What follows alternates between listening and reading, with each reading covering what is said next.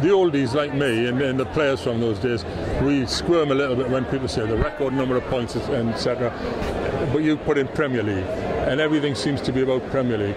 I mean, the team in the old days was second in the league, and they did get more points. And, and don't let anybody pretend that it was easier then.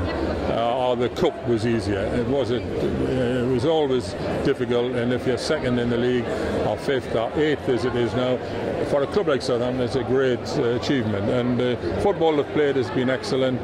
The groundwork was put in by um, Alan Pardew and then Nigel Adkins, and the new man came in and he's, he's built on those foundations and he, he's got a terrific team spirit. Uh, they're working hard for each other and uh, with a bit of luck we'll have two or three in the England squad. But uh, it's been good to watch and uh, just it, it, vital next week to see what happens. I think if one goes, it'll crumble a bit. Uh, what it needs is for the owners to say we don't need money coming in. We want to build on what we've got. Um, and Luke Shaw's agent and Lallana's agent, sorry, bye bye. You were happy to sign a contract. Uh, we're going to bring more good players in and say to the manager, there you are, come on, sign a longer contract. Lawrie, you mentioned the players there that potentially could head out the exit door. Is yeah. it the manager who could be a concern because he's been linked with the Spurs job and yeah. it, his future's uncertain? He's never confirmed that he will stay. well, the three big names I mentioned is uh, Mr. Pochettino and Luke Shaw, the young, and, and Adam Lallana.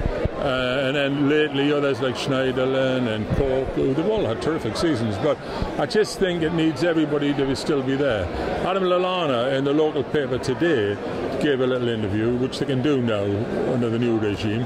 Um, and he's more or less saying he wants everybody to stay, top players and the manager. Now that's good to hear from him.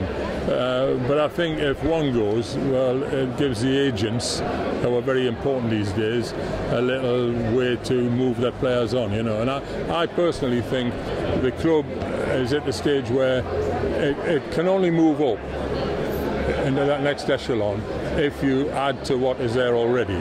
Um, I've always said the Premiership is made up of six, eight, six. The bottom six, uh, you include the three promoted teams and teams that are hanging on a bit, and the top six are the obvious ones. And Southampton as a club are a middle eight club, and at the minute, along with Man United, we're top of that league, and I think that's a great achievement. Just a final one on Luke Shaw. He's been linked heavily with Manchester United, yes. among other teams. But how, how good is he? Because he got in the PFA Team of the Year. He looks such a talent for how young he is. He's a bit like um, Gareth Bale was at that stage in his career. Uh, exciting, forward, running. Uh, everybody likes to see uh, fullbacks acting like wingers and attacking and crossing and all that. The, the, test for a lad like him, if he went to the World Cup, would be the defensive side. And um, that's possibly why Roy Hodgson might go for Cole, who is obviously 107 caps and has played at that level against world-class players. So, but his time will come, and uh, he's excellent. He's a strong-built lad, and listening to people who know them, I don't know the lad, um, but uh, listening to them, he's level-headed, feet on the ground, and that's a good sign. Is your gut feeling that he'll go to the World Cup? I honestly think Roy might take Baines and Cole and say to, uh, say to Shaw, come along as well.